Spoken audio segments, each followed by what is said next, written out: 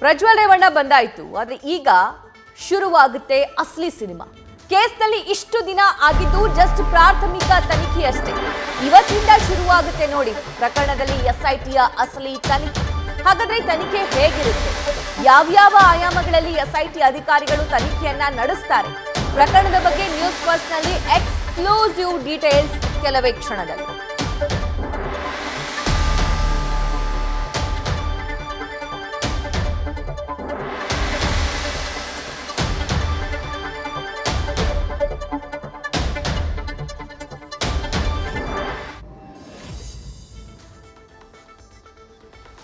Right ಹಾಗಾದ್ರೆ investigations ಯಾವ್ಯಾವ ಸ್ಟೆಪ್ಸ್ನಲ್ಲಿ ಆಗ್ತಾ ಹೋಗುತ್ತೆ, ಹೇಗ್ ಶುರುವಾಗುತ್ತೆ ಅನ್ನುವಂತಹ ಡೀಟೇಲ್ಸ್ ಒನ್ ಬೈ ಒನ್ ನೋಡ್ತಾ ಹೋಗೋಣ. ಸ್ಟೆಪ್ ಒನ್ ಮೆಡಿಕಲ್ ಟೆಸ್ಟ್ ಮಾಡಿಸಿ ಪ್ರಾಥಮಿಕ ಹೇಳಿಕೆಯನ್ನ ಟಿ ಅಧಿಕಾರಿಗಳು ಪ್ರಜ್ವಲ್ ರೇವಣ್ಣ ಅವರಿಂದ ಪಡಿತಾರೆ. ಅದಾದ ನಂತರ ಆರೋಪ ಹೊತ್ತಿರುವ ಪ್ರಜ್ವಲ್ ಕೋರ್ಟ್ಗೆ ಹಾಜರುಪಡಿಸಲಾಗುತ್ತೆ. ಕೋರ್ಟ್ಗೆ ಹಾಜರು ಪಡಿಸಿದ ನಂತರ ಎಸ್ಐಟಿ ಅಧಿಕಾರಿಗಳು ಅವ್ರನ್ನ ವಶಕ್ಕೆ ಪಡೆಯಲಿದ್ದಾರೆ. ನಂತರ ಎಸ್ಐಟಿಯಿಂದ ಪ್ರಜ್ವಲ್ ರೇವಣ್ಣ ವಿಚಾರಣೆ ಶುರುವಾಗುತ್ತೆ. ಮೊದಲು ಆರೋಪಿ ಹೇಳಿಕೆ, ನಂತರ ಸ್ಥಳ ಮಹಜರು ಪ್ರಕ್ರಿಯೆ ಕೂಡ ಅಲ್ಲಿಂದ ಶುರುವಾಗುತ್ತೆ. ಅಂದರೆ ಆ ಸಂತ್ರಸ್ತಿಯರು ಕೊಟ್ಟಿರುವಂತಹ ಸ್ಟೇಟ್ಮೆಂಟ್ಗೂ, ಪ್ರಜ್ವಲ್ ರೇವಣ್ಣ ಕೊಡ್ತಾ ಇರುವಂತಹ ಸ್ಟೇಟ್ಮೆಂಟ್ಗೂ ತಾಳೆ ಇದೆಯಾ ಅಂತ ಹೇಳಿ ಎಸ್ ಐ ಟಿ ಅಧಿಕಾರಿಗಳು ನೋಡ್ತಾರೆ. ಸಾಧ್ಯವಾದರೆ, ಅಗತ್ಯ ಬಿದ್ದರೆ ಎಫ್ ಎಸ್ ಎಲ್ ಟೀಮನ್ನು ಕೂಡ ಅಲ್ಲಿ ಕರ್ಕೊಂಡು ಹೋಗಲಾಗುತ್ತೆ. ಡಿಜಿಟಲ್ ಎವಿಡೆನ್ಸ್ ನನ್ನು ಕೂಡ ಕಲೆಕ್ಟ್ ಮಾಡುವಂತ ಕೆಲಸ ಅಲ್ಲಿ ಮಾಡಲಾಗುತ್ತೆ. ಪ್ರಜ್ವಲ್ ರೇವಣ್ಣ ಅವರ ಎಂ ಪಿ ಕ್ವಾರ್ಟರ್ಸ್ ಆಗಿರಬಹುದು ಹೊಳೆ ನರಸೀಪುರದ ಮನೆ ಆಗಿರಬಹುದು ಅಥವಾ ಬೇರೆ ಬೇರೆ ಕಡೆ ಇರುವಂಥ ಫಾರ್ಮ್ ಹೌಸ್ಗಳಾಗಿರ್ಬೋದು ಅಲ್ಲಿನ ಪ್ರತ್ಯಕ್ಷದರ್ಶಿಗಳು ಆ ದಿನ ಯಾರಿದ್ರು? ಆ ಸಂತ್ರಸ್ತೆ ಮಹಿಳೆ ಆ ಜಾಗಕ್ಕೆ ಹೋದಂತಹ ಸಂದರ್ಭದಲ್ಲಿ ಯಾರೆಲ್ಲ ಉಪಸ್ಥಿತರಿದ್ದರು? ಯಾರೆಲ್ಲ ಆ ಸಂತ್ರಸ್ತ ಮಹಿಳೆಯರು ಬಂದಿರೋದನ್ನ ನೋಡಿದ್ದಾರೆ? ಅದರ ಬಗ್ಗೆಯೂ ಕೂಡ ಅಧಿಕಾರಿಗಳು ಮಾಹಿತಿಯನ್ನು ಪಡಿತಾರೆ. ಈಗ ಆಲ್ರೆಡಿ ಸಂತ್ರಸ್ತಿಯರ ಸ್ಟೇಟ್ಮೆಂಟ್ ಅನ್ನ ಪಡ್ಕೊಂಡಿದ್ದಾರೆ ಅಧಿಕಾರಿಗಳು. ಸೊ ಅವ್ರು ಕೊಡ್ತಾ ಇರುವಂಥ ಸ್ಟೇಟ್ಮೆಂಟ್ಗೂ ಪ್ರಜ್ವಲ್ ಕೊಡ್ತಾ ಇರುವಂಥ ಸ್ಟೇಟ್ಮೆಂಟ್ಗೂ ಅವ್ರು ಕೊಡ್ತಿರುವಂಥ ಇನ್ಫಾರ್ಮೇಷನ್ಗೂ ತಾಳೆ ಇದೆಯಾ ಅನ್ನುವಂತಹ ಮಾಹಿತಿಯನ್ನು ಕೂಡ ಕಲೆ ಹಾಕ್ತಾರೆ. ಇನ್ನು ವಿಚಾರಣೆ ಸಂದರ್ಭದಲ್ಲಿ ಪ್ರಜ್ವಲ್ ರೇವಣ್ಣ ಉಲ್ಟಾ ಹೊಡೆಯುವಂತಹ ಸಾಧ್ಯತೆ ಕೂಡ ಇದೆ. ಸೊ ಅತ್ಯಾಚಾರ ಮಾಡಿಲ್ಲ ಅಂತ ಅಫಿಡವಿಟ್ ಸಲ್ಲಿಸುವಂತಹ ಸಾಧ್ಯತೆ ಕೂಡ ಇದೆ. ಇದೆಲ್ಲವೂ ಕೂಡ ಬೇಸಿಕ್ ಪ್ರಾಸೆಸ್ ಏನೆಲ್ಲ ಆಗುತ್ತೆ ಅನ್ನೋದಕ್ಕೆ ಸಂಬಂಧಪಟ್ಟಂತೆ ಇನ್ಫಾರ್ಮೇಶನ್ ಸ್ಟೆಪ್ ಬೈ ಸ್ಟೆಪ್ ತನಿಖೆ ಹೇಗೆ ಆಗುತ್ತೆ ಅಂತ. ಹಾಗಾದ್ರೆ ನೆಕ್ಸ್ಟ್ ಸ್ಟೆಪ್ನಲ್ಲಿ ತನಿಖೆ ಹೇಗಾಗುತ್ತೆ ನೋಡ್ತಾ ಹೋಗೋಣ. ಸಂತ್ರಸ್ತೆಯಿಂದ ಆರೋಪಿಯ ಗುರುತು ಪತ್ತೆ ಹಚ್ಚುವಂತಹ ಪ್ರಕ್ರಿಯೆ ಕೂಡ ಆಗುತ್ತೆ. ಪ್ರಜ್ವಲ್ ಮತ್ತು ಸಂತ್ರಸ್ತೆಯನ್ನ ಎದುರು ಬದುರು ನಿಲ್ಲಿಸ್ತಾರೆ, ಕೂರಿಸ್ತಾರೆ, ಮಾಹಿತಿಯನ್ನು ಕೂಡ ಕಲೆಕ್ಟ್ ಮಾಡ್ತಾರೆ. ಪ್ರಜ್ವಲ್ರನ್ನ ತೋರಿಸಿ ಇವರೇನಾ ಅಂತ ಗುರುತು ದಾಖಲೆಯನ್ನ ಮಾಡಿಕೊಳ್ತಾರೆ ಎಸ್ಐಟಿ ಅಧಿಕಾರಿಗಳು. ಇದೆಲ್ಲವೂ ಪ್ರಾಸೆಸ್ ಇರುವಂಥದ್ದು. ಇನ್ನು ತನಿಖೆಯ ಸ್ಟೆಪ್ ತ್ರೀ ಹೇಗಿರುತ್ತೆ? ಸಿಕ್ಕಿರುವಂತಹ ದಾಖಲೆಗಳನ್ನು ಮುಂದಿಟ್ಟುಕೊಂಡು ಅಸಲಿ ವಿಚಾರಣೆಯನ್ನ ಅಧಿಕಾರಿಗಳು ನಡೆಸ್ತಾರೆ. ಈಗಾಗಲೇ ಸ್ಥಳ ಮಹಜರು ಪ್ರಕ್ರಿಯೆ ನಡೆಸಿದ್ದಾರೆ ಎಸ್ಐಟಿ ಅಧಿಕಾರಿಗಳು. ಸಂತ್ರಸ್ತೆಯರನ್ನ ಕರ್ಕೊಂಡು ಹೋಗಿ ಅದು ಹೊಳೆ ನರಸೀಪುರದ ಮನೆ ಆಗಿರಬಹುದು ಅಥವಾ ಎಂ ಪಿ ಕ್ವಾರ್ಟರ್ಸ್ ಆಗಿರಬಹುದು ಬೆಂಗಳೂರಲ್ಲಿರುವಂಥ ಮನೆ ಆಗಿರಬಹುದು, ಇಲ್ಲಿ ಎಲ್ಲ ಸ್ಥಳ ಮಹಜರು ಮಾಡಿದ್ದಾರೆ. ಸೊ ಎರಡು ಪ್ರಕರಣಕ್ಕೆ ಸಂಬಂಧಪಟ್ಟಂತೆ ಒಂದು ಪ್ರಜ್ವಲ್ ರೇವಣ್ಣ ವಿರುದ್ಧ ಕೇಳಿ ಬರ್ತಿರುವಂತಹ ಲೈಂಗಿಕ ದೌರ್ಜನ್ಯದ ಆರೋಪ, ಅತ್ಯಾಚಾರದ ಆರೋಪ. ಮತ್ತೊಂದು ರೇವಣ್ಣನವರ ವಿರುದ್ಧ ಕೇಳಿ ಬರ್ತಾ ಇರುವಂತಹ ಆರೋಪದ ಬಗ್ಗೆಯೂ ಕೂಡ ಸ್ಥಳ ಮಹಜರು ಸಂತ್ರಸ್ತೆಯರಿಂದ ಆಗಿದೆ. ಸೊ ಅವ್ರಿಗೂ, ಅವ್ರು ಕೊಡ್ತಾ ಇರುವಂಥ ಸ್ಟೇಟ್ಮೆಂಟ್ಗೂ ಇವ್ರಿಗೂ ತಾಳೆ ಇದೆಯಾ ಅನ್ನುವಂತಹ ಲೆಕ್ಕ ಹಾಕ್ತಾರೆ ಎಸ್ಐಟಿ ಅಧಿಕಾರಿಗಳು. ಸಂತ್ರಸ್ತಿಯನ್ನ ಕರೆದುಕೊಂಡು ಹೋಗಿ ಸ್ಥಳ ಮಹಜರು ಮಾಡ್ತಾರೆ. ಹೊಳೆ ನರಸೀಪುರದ ಮನೆ ಸೇರಿ ಹಲವೆಡೆ ಸ್ಥಳ ಮಹಜರು ಮಾಡುವಂತಹ ಪ್ರಕ್ರಿಯೆ ಆಗುತ್ತೆ. ಅಲ್ಲಿ ಸಿಕ್ಕಿರುವಂತಹ ಒಂದಷ್ಟು ಎವಿಡೆನ್ಸ್ಗಳನ್ನ ಮುಂದಿಟ್ಟುಕೊಂಡು ಪ್ರಶ್ನೆಯನ್ನ ಮಾಡ್ತಾರೆ. ಈಗ ಮೊದಲ ಹಂತದಲ್ಲಿ ರೇವಣ್ಣನವರ ವಿರುದ್ಧ ಕೇಳಿ ಬಂದಂತಹ ಆರೋಪಗಳಿಗೆ ಸಂಬಂಧಪಟ್ಟಂತೆ ಸ್ಥಳ ಮಹಜರು ಆಗಿದೆ.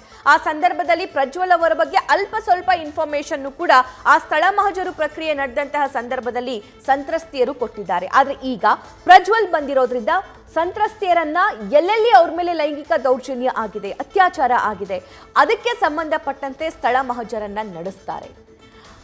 ತನಿಖೆಯ ನಾಲ್ಕನೇ ಸ್ಟೆಪ್ ಹೇಗಿರುತ್ತೆ ನೋಡೋಣ.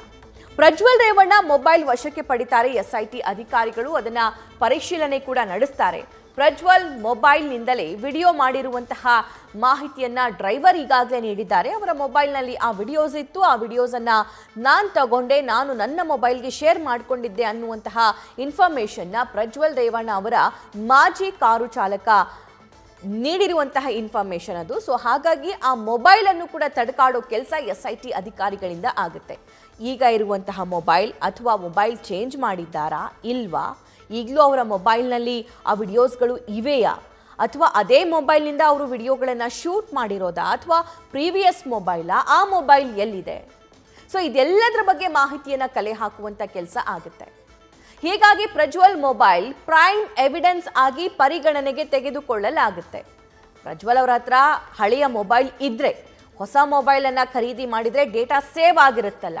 ಕ್ಲೌಡಲ್ಲೋ ಅಥವಾ ಇನ್ನೆಲ್ಲೋ ಡೇಟಾ ಸೇವ್ ಆಗಿರುತ್ತಲ್ಲ, ಅದನ್ನೂ ಕೂಡ ರಿಕವರ್ ಮಾಡುವಂತಹ ಪ್ರಾಸೆಸ್ ಇಲ್ಲಿ ಆಗುತ್ತೆ. ಆದರೆ ಅದೆಲ್ಲವನ್ನೂ ಕೂಡ ಈಗಾಗಲೇ ಪ್ರಜ್ವಲ್ ರೇವಣ್ಣ ಎರೇಸ್ ಮಾಡಿದ್ರೆ ಏನು ಅನ್ನುವಂತಹ ಪ್ರಶ್ನೆ ಮತ್ತೊಂದು ಕಡೆ ಇದೆ. ಏನು ಪ್ರಜ್ವಲ್ ರೇವಣ್ಣ ಮೊಬೈಲನ್ನು ವಶಕ್ಕೆ ಪಡೆದು ಎಸ್ ಐ ಟಿ ಅಧಿಕಾರಿಗಳು ಪರಿಶೀಲನೆಯನ್ನ ನಡೆಸ್ತಾರೆ. ಫಾರ್ಮ್ಯಾಟ್ ಮಾಡಿದ್ರೆ ರಿಟ್ರೀವ್ ಕಳಿಸಲಿರುವಂತಹ ಎಸ್ ಐ ಟಿ ಅಧಿಕಾರಿಗಳ ತಂಡ.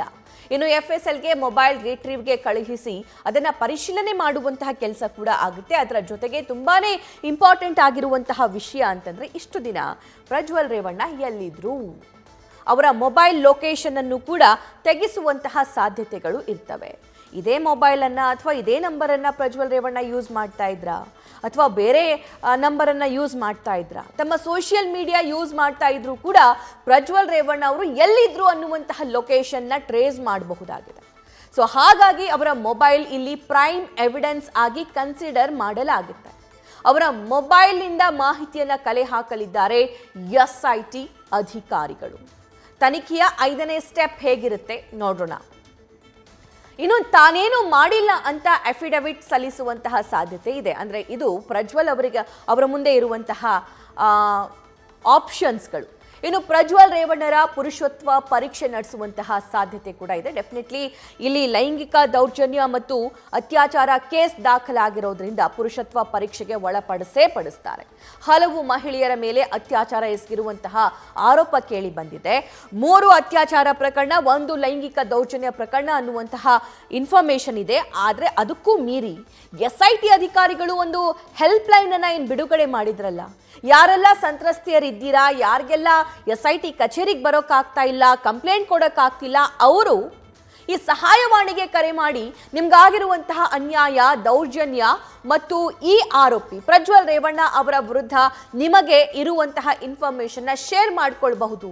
ನಿಮಗೆ ಆಗಿರುವಂತಹ ನೋವನ್ನು ಶೇರ್ ಮಾಡ್ಕೋಬಹುದು ಅಂತ ಹೇಳಿ ಹೆಲ್ಪ್ ಲೈನ್ ಅನ್ನ ಏನು ನೀಡಿದ್ರಲ್ಲ, ಅದರಲ್ಲಿ ಯಾವುದು ಸರಿ, ಯಾವುದು ತಪ್ಪು ಅನ್ನುವಂತಹ ಮಾಹಿತಿಯನ್ನು ಕಲೆ ಹಾಕೋ ಕೆಲಸ ಕೂಡ ಎಸ್ ಐ ಟಿ ಅಧಿಕಾರಿಗಳು ಮಾಡಿದ್ದಾರೆ. ಅದನ್ನೂ ಕೂಡ ಇಲ್ಲಿ ಕನ್ಸಿಡರ್ ಮಾಡಲಾಗುತ್ತೆ.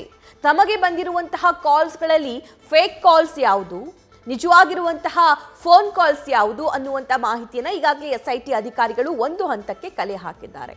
ಅದರ ಬಗ್ಗೆಯೂ ಕೂಡ ವಿಚಾರಣೆ ನಡೆಸುವಂತಹ ಸಾಧ್ಯತೆಗಳು ಇರುತ್ತೆ.